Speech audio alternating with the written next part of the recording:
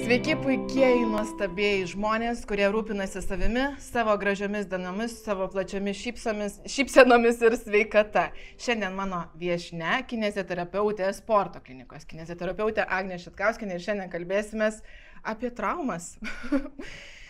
Skausmas po, po, skausmas po traumas. Iš tikrųjų, kai pasakau žodį trauma, visi įsivaizduoja kažką tais e, e, didelio dviejų metrų brangiai, brangiai apmokamo ir žaidžiančio NBA, bet mes jų patirime kasdienybė ir aš tikiu, kad jūs kaip e, profesionalė tikrai tų kasdienių traumų netikėčiausiose vietose sutinkate.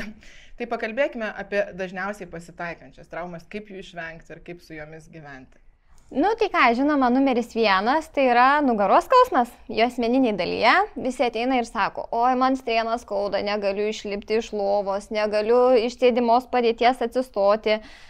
Nu ir tada pradedi žiūrėti, analizuoti tuos judesius ir mokini žmogų tiesiog iš naujo išmokti vaikščioti, keltis iš lovos, gultis į lovą, nes pasirodo, ne visi mes tą mokam taisyklingai padaryti. Keltis iš lovos ir gultis į lovą. Į lovą aš tiesiog krentu žemyn veidu, mhm. iš lovos keliuosi turiu tokį principą, kad nešoku iš lovos niekada. Anksčiau tai jau yra gerai. Mhm. Anksčiau šokdavau, ne, nes kitaip nesugalvodavau, kitaip neatsikelsiu, turiu šokti, kaip į kokį šaltą vandenį, taip ir dieną.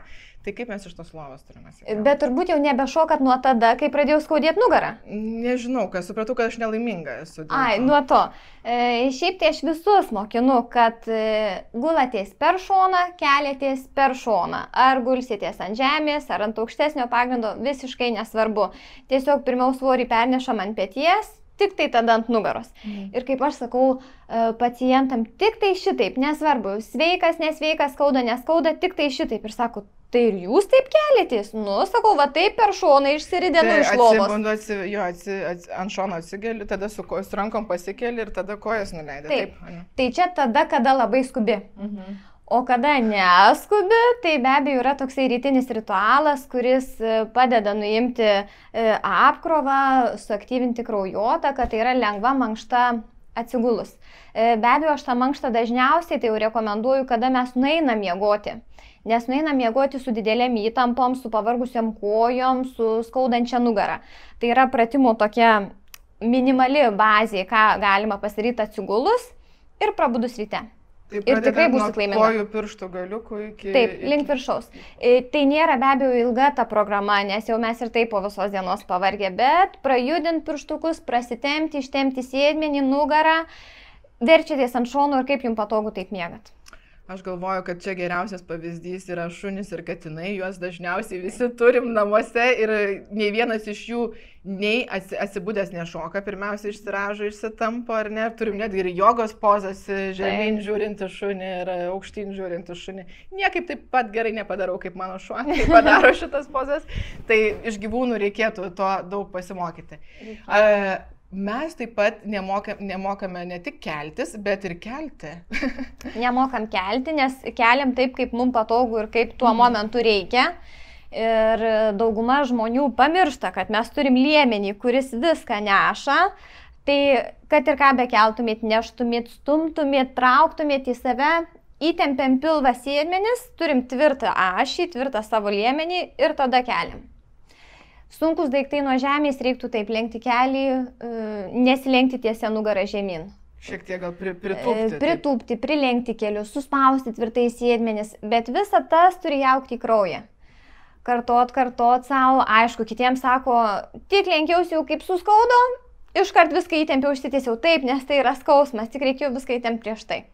Iš tikrųjų, Agne kalba ir aš galiu paantrinti, kad turėjau tikrai stiprius e, nugaros apačios skausmus, e, kai auginau dukrą ir jie atsirado nuo to, kad aš ją dažnai keldavau iš lovytės, prastai mėgojo ir tada gavau pamoką, kad įtemk presą, dabar jau sužinau, kad reikėjo ir sėdmenis įtempti keldama, prieš keldama įtempti. Ir baigėsi man visi skausmai nugaros. Tai mamos, kurios šitos mūsų šito pokalbio klausot, atminkit, įtemkit. Čia presa, čia nėra įsivaizdavimas kažkoksai ir kaip Agnė sako, kai tai taps įpročiu, dėkosit pačios savo.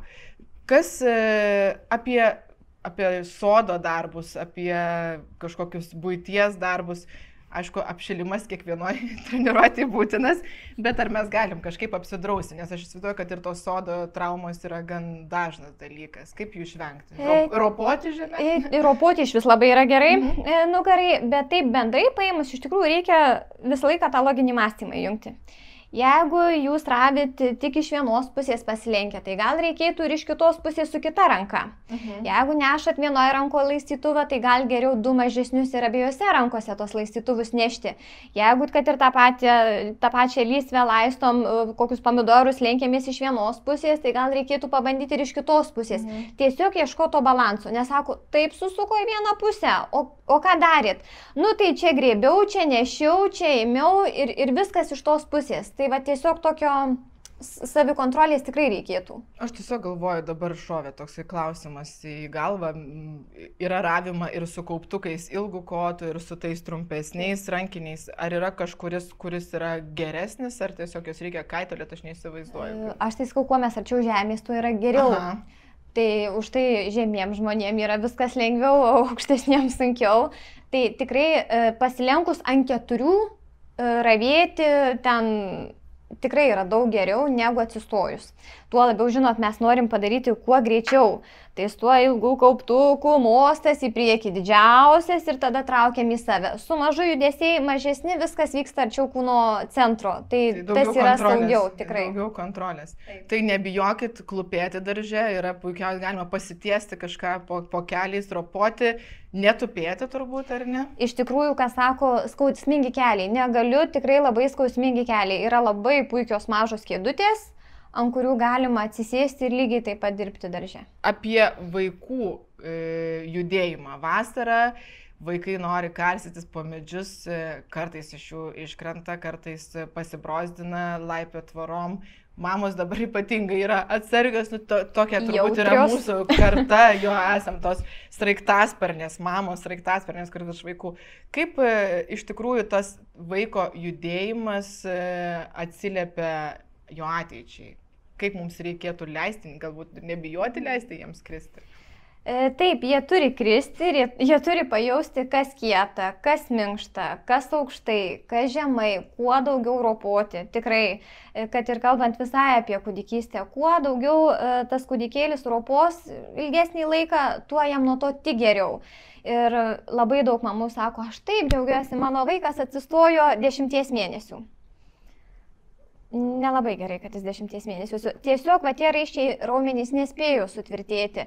Tai o, o visa kita taip, vaikas atsistojo pirmin, einam, krentam, lipam, brozdinamės, ridinėjomės ant kitos žemės, lipam į balas, pojūčiai, tiesiog e, smegenų veikla visa, visai vystosi kitaip. Kuo daugiau to pojūčio, kuo daugiau sąlyčio, e, tik į naudą. Tikrai nereikia bijoti. Aišku, yra ribos, Taip. Nereikia lipti ant stogo, bet, bet mes tiesiog, nereikia taip saugot vaikų. Mes kaulą įsivaizduojam kaip tokį dalyką, kaip pagalių, kuris tiesiog yra, bet kaulas yra toks atsinaujinantis dalykas ir kai jiems duodi apkrovimo, duodi darbo, jie pradeda irgi tvirtėti, ar ne? Taip, taip, taip. Tvirtėja raumenys, tuo pačiu tvirtėja ir kaulas. Tai tikrai viską galima vaikams leisti daryti. Kuo daugiau, tuo to judesio daugiau, įvairesnio judesio, e, tai tik nauda.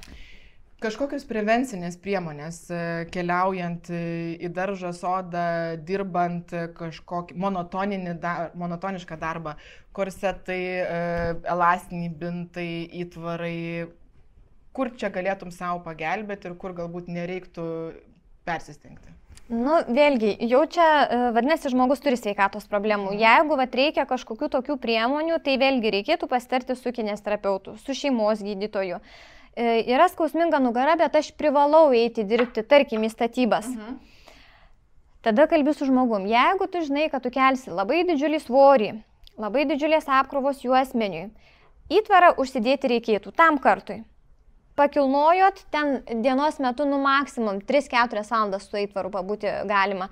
Ir viskas, jūs įtvarą nusėjimat, pasidedat į šoną, nes vis tiek jūs turi laikyti raumenys. Mes jų turim labai daug ir jie turi dirbti. E, kada yra sanarių problemos, vėlgi artrozės, e, kiti dalykai, bet tarkim yra tiesiog skausmingas sanarys, e, sutrikus kraujotakai sanariai, galima taikyti teipavimą. tada rumuo dirba pats iš savęs, bet skausmo tokio kaip ir nelieka. Tai Kvėpavimas yra, turbūt esate matę, pas, ypač pas profesionalius sportininkus, tokias spal, spalvotas juostos, juostos. Mm -hmm. tai ten nėra kažkoks iš pradžių, gal pirmą kartą... Kas čia per keiksmažodis?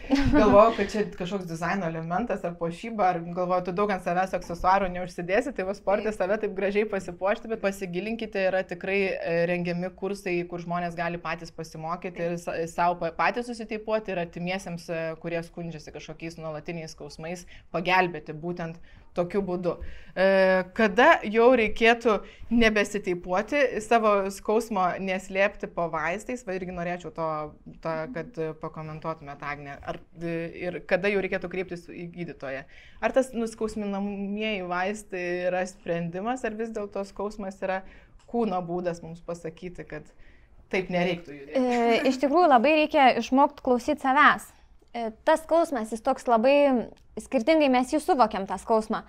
Jeigu mes suprantam, kad darėm sunkia treniruotę, dirbom ten ant dvigalvių rankos raumenų ir mums skauda abiejus raumenis, viskas tvarkoja, tai yra normalu. Raumuo dirbo, jį skauda. Bet jeigu atsiranda durintis skausmas, jis yra tik tai vienoj pusėje, jis jums neleidžia užmygti, jis nepraeina bent jau iki trijų dienų, tai tada jau reikėtų kreiptis į, į šeimos gydytoją, kinesterapeutą, aiškintis, kas sukelia tą skausmą. Vėlgi būna tokių mini traumų, ten patinimas, sumušimas, e, kažkoksai, galima naudoti toksai yra vadinamas e, RAIS metodas. Tai yra keli punktai, kaip mes galim savo padėti. Tai pirmoji vietoje po traumos reikia mum tą vietą šaldyti nešildyti, bet šaldyti, sulėtinti kraujotaką į tą vietą, kad išvengti hematomų, sumažinti taip skausmą. Mhm. E, tada labai svarbu pakelimas galūnės. Vėlgi, kraujotaka eina žemyn, išvengiam tinimo, e, mažėja skausmas.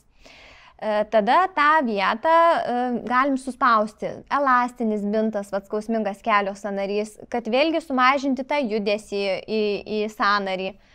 Ir, ir ramybė. E, nejudinti tos galūnės, tiesiog leisti ją ilsėtis. Tai tą darom bent 3 dienas, jeigu nepraeina, skausmas nemažėja, naktį nemiegat, kreipiamės į specialistą. Tai išvada būtų paprasta, jeigu skausmas, jeigu skausmas nesiliauja, kreipiamės pas specialistą, bet tam, kad skausmo išvengtume, net ir judėdami turime būti sąmoningi, šiek tiek galbūt ir šitoje vietoje reikėtų paminti ir išdidumą ir galbūt pasimokyti vaikščioti, atsikelti iš lovos, pasimokyti kūno kultūros. Turbūt tai, tai nėra fizinis lavinimas, tai yra kūno kultūra. Kaip sėdėti, netgi kaip uh, paimti podelį kavos, kaip, kaip lenktis, kaip stotis nuo kėdės. Kaip stalčių atidaryti. Kaip stalčių, kaip stalčių atidaryti. Aš visiems visą laiką juokiuosi. E, mano stalčiai taip ganėtinai žemai yra. E, ir sako, tai kaip jūs čia nesilenkėt, aš atidarau su koja tiesiog stalčių. Tai va. Nenaudoti tų raumenų, kurių nereikia ir, ir, ir džiaugtis ir naudoti tuos, kurie tam yra geriausi ir efektyviausi ir tikslingiausi. Tai dar kartą labai e, linkiu visiems, dėkoju Agniai Šitkauskinai, sporto klinikos kineziterapeutai ir visiems linkiu vasaros ir rudens ir šiaip metų be skausmo. Iki kitų susitikimų. Iki.